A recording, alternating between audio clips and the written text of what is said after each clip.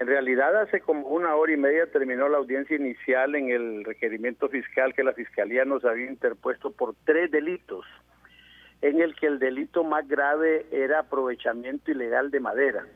Después de la audiencia quedó definitivamente demostrado que nosotros nunca hemos cortado un pino, que nosotros nunca hemos vendido un palo de madera y la juez en ese delito, que era el más grave, nos dio sobreseimiento definitivo y consideró que deberíamos ir a juicio en los otros dos delitos menores, el de descombro y el de daños, pero no agravados.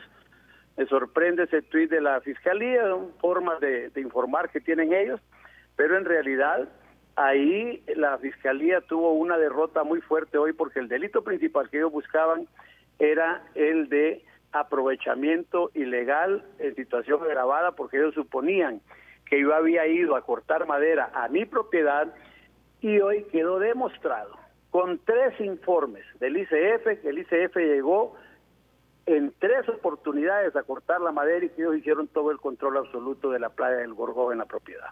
Abogado, muchas gracias por aceptar esta comunicación. A la orden, bendiciones. Gracias.